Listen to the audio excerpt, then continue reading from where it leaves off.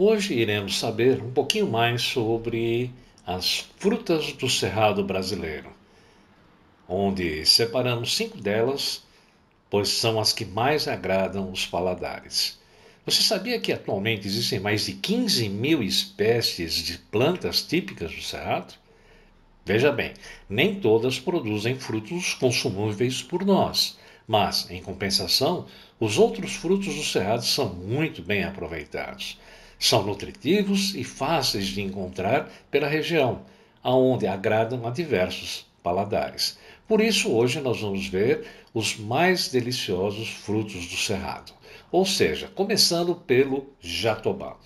O jatobá tem um sabor e um aroma bem característico e ele é consumido muito em forma de farinha para bolos e pães, pois não é tão fácil, veja bem, de agradar, apesar de ser nutricionalmente bastante relevante em função da sua aparência e do seu sabor, que é bem forte. Agora, ele contém muitas vitaminas, cálcio, proteína e potássio. Se você quiser saber mais sobre o jatobá, temos aqui no canal do Avovó um filme específico do jatobá.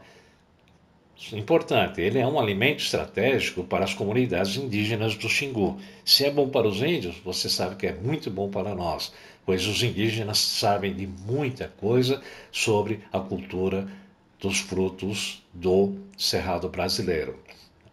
Agora, outra fruta muito interessante é o pequi. Ele pode ser consumido cozido ou puro, pois ele é uma boa pedida que é sempre muito bem servido e acompanhado com o famoso arroz e frango. Com a sua coloração amarela intensa, ele também é usado na fabricação de óleo e licor. A terceira fruta é o buriti. De possível uso em diversas preparações, o buriti tem alto valor nutritivo e concentração de vitamina A. Sua casca castanha avermelhada, muito bonito, né, muito, esconde dentro uma polpa amarela e a sua amêndoa que é totalmente comestível.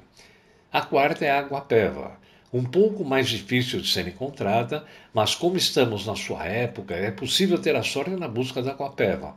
A fruta amarela com polpa esbranquiçada é bastante usada em bebidas doces e geleias. Seu consumo também é recomendado para o combate de doenças crônicas degenerativas, como câncer e diabetes. Guavira.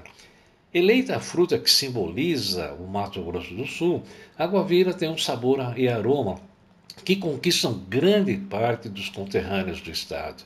Em natura, em suco, sorvetes, drinks, doces ou licor, a fruta é muito utilizada no combate à gripe, pois possui grande quantidade de vitamina C e atividade antioxidante. Mesmo sua casca pode ser usada no tratamento de diarreias, cãibras e doenças no sistema urinário. Ela merece o título, fala a verdade. Ela tem todas as características e condições de levar como uma das mais saborosas e melhores do cerrado brasileiro. Vamos experimentar? É só procurar, encontrar nos canais, nos mercados ou qualquer lugar que você possa vir a ter esta, estas frutas para poder experimentá-las e apreciá-las sobremaneira de seus sabores e diferenciais. Muito obrigado.